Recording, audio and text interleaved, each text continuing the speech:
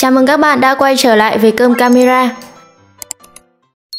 Các bạn thân mến, đầu tuần mới, Cơm Camera sẽ làm về một chủ đề âm nhạc để chúng ta cùng nhau đón tuần mới vui vẻ nha. Ca khúc ngày hôm nay là ca khúc Ái Nộ của Masew và Khôi Vũ. Ca khúc này mới được Masew đăng tải hơn một năm trên nền tảng mạng xã hội YouTube, đã thu hút hơn 48 triệu view đến từ bạn bè Việt Nam cũng như quốc tế. Bạn nào chưa nghe bài hát này, để hát cho các bạn nghe một đoạn nha. Ed để link bài hát ở phần mô tả. Bạn nào chưa nghe thì đi nghe luôn nhé. Đảm bảo nghiện từ lần nghe đầu tiên, nghe 10 năm cũng không chán.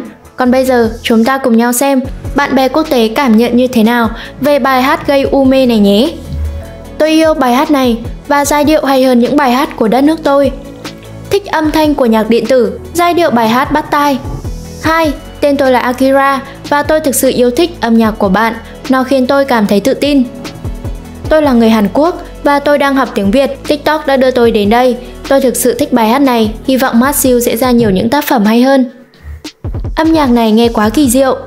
Tôi không biết bất kỳ từ Việt Nam nào, nhưng nó nghe tuyệt đẹp làm sao. Xin chào, tôi bị lạc ở đây rồi. Tôi thấy bài hát này rất hay. Tôi là người Nhật nên tôi đã hỏi nó, nhưng tôi không hiểu nó có ý nghĩa gì. Nó không có ở Nhật Bản nên tôi không hiểu lời bài hát. MV cũng rất hay.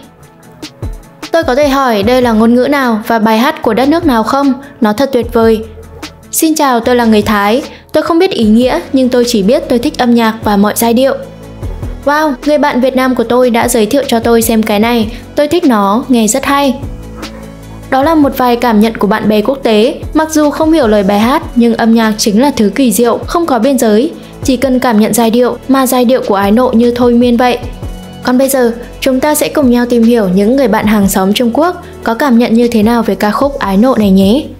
Trên nền tảng nghe nhạc trực tuyến lớn nhất Trung Quốc NetEaseCloud, rất nhiều netizen Trung Quốc đã để lại bình luận sau khi nghe được Ái Nộ. Chúng ta cùng nhau xem họ đã bình luận những gì nhé. Việt Nam đã thay đổi từ một nước nhỏ nghèo thành một nước nhỏ nghèo làm nhạc điện tử. Tôi không đồng ý với điều đó, MV của họ cũng rất hay. Phiên bản tiếng Trung có rồi, Trương Hiểu Hàm, Dạ Hải Đường, Ed nghe phiên bản tiếng Trung thấy hơi kỳ kỳ, Ed để cả link bài hát ái nộ tiếng Trung, các bạn nghe thử xem thế nào nhé. Vẫn là bài hát gốc hay hơn. Hey, tôi không ngờ rằng bài hát nghe phê thế, hóa ra là của người Việt Nam đấy.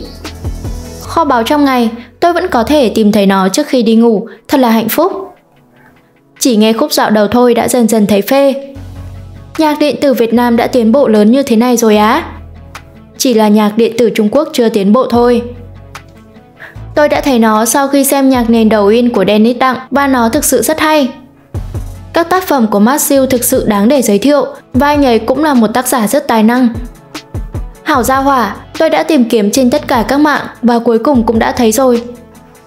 Âm thanh điện tử giống như cầu vồng ảo giác và sóng vỗ, tiếng hát giống như phong thái của dòng suối rừng nhiệt đới yên tĩnh. Bài hát yêu thích của tôi cuối cùng cũng ở đây, tôi đã nghe nó trên YouTube trong một thời gian dài. Tôi nghe nó mỗi ngày trên nhạc của tôi và cuối cùng NetEase đã có nó rồi. Đó là một vài bình luận trên NetX Cloud. Còn một nền tảng nghe nhạc phổ biến nữa tại Trung Quốc đó là QQ Music. Chúng ta cùng xem họ phản ứng như thế nào khi nghe được ái nộ nhé. Chỉ cần nói, tại sao ngày đó bắt đầu cho tôi nghe bài hát Việt Nam? Mọi thứ bắt đầu từ 2 phút hơn trở đi. Tôi cũng vậy. Tôi không phải, tôi là một người bạn Việt Nam đã giới thiệu cho tôi. Trời ơi, tôi cũng vậy. Toang rồi, giải trí trong nước không thắng nổi Việt Nam nữa rồi. Bạn đối với giải trí trong nước có thể làm được cái gì không? Cả nhà ơi, bài này bị dạ hải đường đạo nhạc à? Chắc thế đấy, dạ hải đường hiện đã bị gỡ xuống rồi. Bạn có thể kiểm tra một chút mà, là có phải đã mua bản quyền hay không và đừng cứ mở miệng ra là vu khống.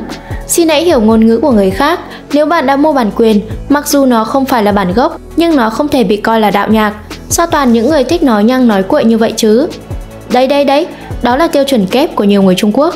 Việt Nam mà cover nhạc Trung thì bảo Việt Nam đạo nhạc chỉ biết bắt trước Trung Quốc, rồi Việt Nam không có lấy một người biết sáng tác nhạc à. Bây giờ Trung Quốc có nhiều bài hát nhạc Việt lời Hoa thì bảo là mua bản quyền rồi không được gọi là đạo nhạc.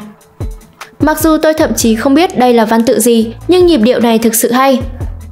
Họ đang thực sự tạo ra âm nhạc và có thể cảm nhận được bài hát và âm nhạc Việt Nam đã lên một tầm cao mới rồi. Âm nhạc do Matthew tạo ra thực sự rất độc đáo, bản remix cũng mang đến những hương vị khác so với bài hát gốc. Nghe bạn Việt Nam của tôi nói về tôi bài hát này. Cuối cùng tiếng sáo có chìm xuống được không? Sau khi nghe nó từ đầu đến cuối, nó rất mượt mà, nhưng âm thanh của đoạn sáo này luôn không thể chìm xuống. Và tôi bất ngờ, có thể là do âm thanh sáo được tạo ra bằng bộ tổng hợp điện tử, có thể có một khoảng cách nhỏ giữa các âm thanh của sáo. Âm điệu phải là hoàn toàn hạ xuống thì mới giống như một người thổi sáo. Nền âm nhạc Việt Nam đang trên đà phát triển, nhân tài xuất hiện hàng loạt. Nghe khúc dạo đầu thôi đã đi thẳng vào thai kỳ, Bài hát tình cờ gặp được, đoạn dạo đầu thực sự thu hút tôi, cảm thấy rất mượt mà. Mặc dù đúng là tôi không thể hiểu được, xin lỗi ha ha, nhưng tôi thực sự yêu thích giai điệu này, vì vậy tôi nhất định giữ nó trong bộ sưu tập của mình. Tôi không nhận xét về ngôn ngữ, tôi không nhận xét về âm điệu, có nên nói hay không về bản phối này, nhịp điệu này thực sự không tệ. Giai điệu du dương và nét duyên dáng độc đáo của tiếng Việt khiến bài hát này có nhiều tầng lớp. Thoạt nghe có thể bạn sẽ không nhìn thấy gì, nhưng thử nghe đi nghe lại nhiều lần, bạn sẽ thấy rằng bài hát này giống như những con sóng xô vào trong cuộc sống đời thường, du dương và lãng mạn. Tôi thực sự cảm thấy rằng lưỡi của họ rất linh hoạt khi nghe lời bài hát. Bài hát này rất nhiều màu sắc và mới mẻ. Nhạc Việt đúng là càng ngày càng có cảm giác rồi. Tôi thực sự thích hiệu ứng âm thanh khi tôi nhắm mắt lại, dường như nhìn thấy những viên ngọc trai rơi trên đĩa ngọc bích, âm thanh va chạm của ngọc bích. Đoạn như tụng kinh hấp dẫn quá, Vãi trưởng, nhạc Việt Nam bây giờ đã khoa trương đến thế này rồi sao? Nhạc cụ dân tộc thiểu số ở Vân Nam được đàn khỉ Việt Nam chơi quá nhuần nhuyễn, nỗi buồn của nền âm nhạc Trung Quốc. Bệnh nhận vơ này chắc nani rồi, gì hay gì đẹp gì tốt là nhận hết. Lúc đầu là loại nhạc cụ gì vậy? Mọi người có thể giải thích giúp tôi được không? Bốn câu cuối có cảm giác hơi đột ngột và không có sự liên kết với những câu trước, hay bài này chuyển tiếp từ MV, gãi đầu, Bốn câu cuối là Matthew giới thiệu ca khúc khác là Mời Chầu nha. Nghe hay quá, vãi trưởng, tôi lại có thể hiểu được một ít tiếng Việt. Các bài hát Việt Nam gần đây rất nổi tiếng, xin đừng nhắc máy cũng hay. Ghen tị với sự phát triển của nền giải trí các nước. Nghe hay và thích bài này, nhất là khúc dạo đầu, mê lắm, chắc chắn sẽ chiếm vị trí 999 cộng. Tiếng Việt phát âm rất khó nghe, nhưng hát lên thì nghe lại rất hay. Mới nghe khúc dạo đầu cứ ngỡ là dân ca. Gần đây tôi phát hiện ra rằng các bài hát tiếng Việt có chút hay. Âm nhạc Việt Nam đều hot rồi, hey, không biết phải nói gì. Âm sắc của nhạc cụ dành cho khúc dạo đầu này có thể được tìm thấy ở người Miêu, Giao và Choang ở Quảng Tây. Tại sao cùng một loại nhạc cụ mà không thể tạo ra một bài hát nào cả? Bộ sưu tập ngẫu nhiên không ngờ càng nghe càng hay. Bây giờ tôi cảm thấy rằng Thái Lan, Việt Nam và Ấn Độ, người ta đang thực sự dùng tâm để tạo ra âm nhạc, nghe rất hay. Trang nhạc này hiểu tôi, đang ngồi trên tàu điện ngầm và nó gửi một câu hỏi nhỏ. Tôi thậm chí còn không nhìn vào điện thoại của mình. Một lúc sau tôi liền cảm thấy như mình sống lại. Khúc dạo đầu này quá hay đi. Tôi ghét Việt Nam, nhưng nền âm nhạc Trung Quốc không khởi sắc. Ngoài việc đạo nhạc và cắt ghép, thì các bài hát tiếng Anh cũng có thể chiếm vị trí số 1 trong bảng xếp hạng âm nhạc Trung Quốc. Trên đây là một vài bình luận của netizen Trung Quốc khi nghe được ca khúc Ái Nộ của Masew và Khôi Vũ. Còn rất nhiều bình luận khác khen ngợi ca khúc này quá hay.